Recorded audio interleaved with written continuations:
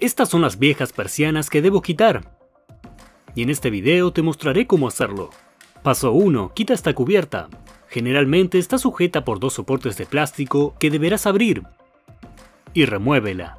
Paso 2. Toma un destornillador de cabeza plana y levanta las pestañas de los soportes de metal de aquí. Hazlo de ambos lados.